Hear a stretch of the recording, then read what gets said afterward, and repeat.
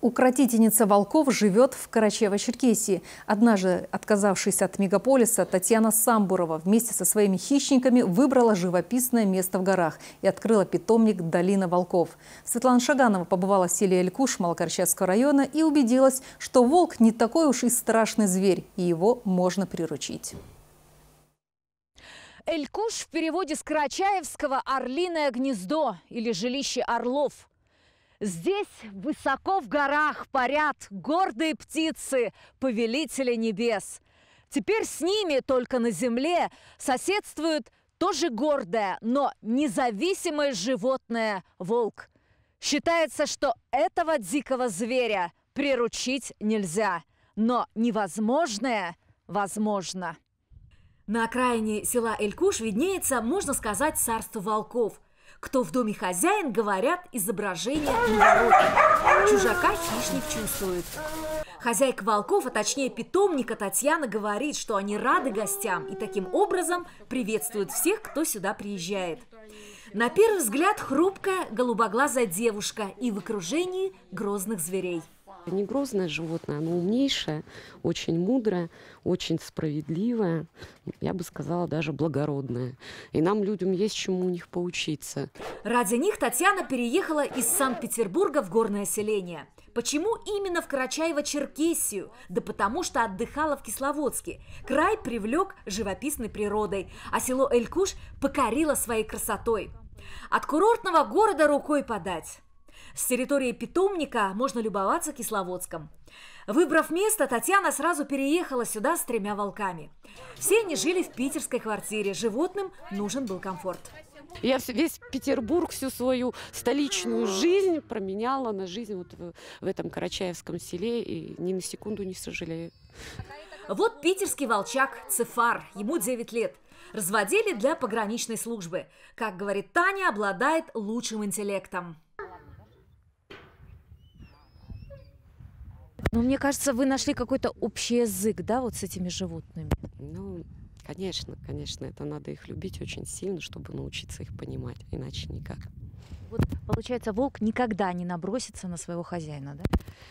А, не совсем верно. Волк может наброситься на хозяина, если это именно хозяин, но волк никогда не набросится на своего друга. За друга он отдаст свою жизнь. Мишель – вожак стаи. Она хоть и дама, но имеет право на такой статус – Мишель – канадский волк. Их выводят для спасательной работы. А в соседнем вольере обитает ее супруг Каспер. На вопрос, почему самка вожак стаи, Татьяна отвечает – Каспер моложе ее и поэтому ниже рангом, да и вообще в паре самка ведущая. Он гораздо ее моложе, но все равно любовь у них случилась. И снова вой. Гости приехали. Марина Пальчаковская – друг и меценат – Привозят для волчьей стаи всегда что-то вкусненькое, на этот раз мороженое. Бытует мнение, что хищники едят только мясо, но они как люди. В рационе есть все – фрукты, овощи, молочные продукты и, конечно, десерт. Считается, что люди боятся хищников. Оказывается, наоборот. Волкам нужно научиться не бояться человека.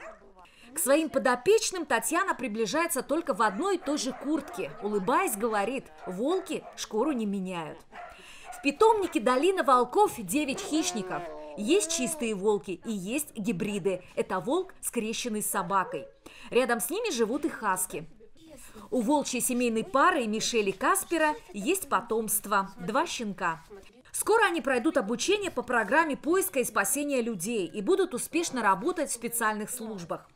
В обучении Татьяне помогает группа кинологов – Хозяйка волков тоже в этом участвует, так как сама кинолог, но по профессии художник. Еще при рождении судьба была предрешена, говорит Татьяна.